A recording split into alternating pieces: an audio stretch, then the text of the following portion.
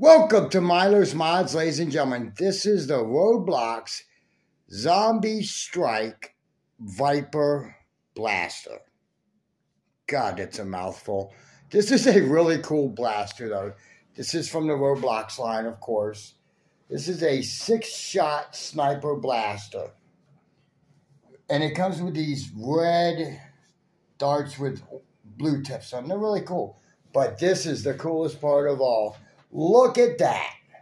That is really awesome. And the teeth, they're soft. I mean, this blaster is definitely not for melee, but that is really awesome. I really do love the aesthetics of this blaster. This That's the whole reason why I bought it. That, and I'm going to try to shove a super core into it to see if I can turn it into a nice sniper rifle. I mean, this blaster, I picked it up on sale for $27. It's not bad. I mean, it's kind of cool. We'll say this, ladies and gentlemen. That's the bad part. It's got gears in it. But, if I but if I turn yeah, if I, am just gonna gut it and shove a super core and see what I do. But ah. watch this.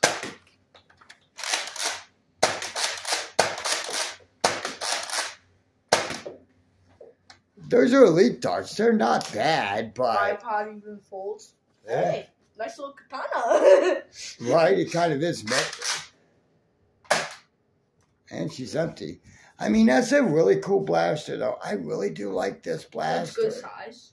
Yeah, it definitely is good size. It's not Tiny like too stock. Well, really, people? Am I so Hasbro really doesn't like no, normal size humans. Trust me, Milo.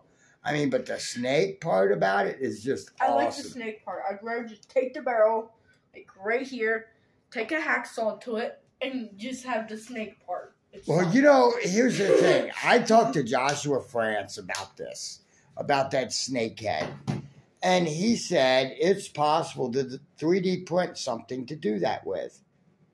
To kind of make them like maybe accept his saber tips or something, but that would be pretty cool. I mean, I definitely do like this blaster. This is really cool. This is like one of my uh, this seriously, out of all the blasters that Hasbro put out this year, this has to be my absolute favorite. I mean, if nothing else, it's got a freaking snake on it. How awesome is that? I mean, wow. I really do dig this blaster. The couple things I will tell you, though, is that the scope is not removable. And once you put the barrel onto the body of this blaster, it does not come off. So bear that in mind. And the blaster does have gears but it definitely has a really awesome aesthetic to it. I mean, good lord. But I'll put a buy link in the description below. But if you really want something that's awesome, this definitely is. I mean, it only shoots at 60 FPS or so, but it's not bad. Until next time, this is Milo's Mods signing off.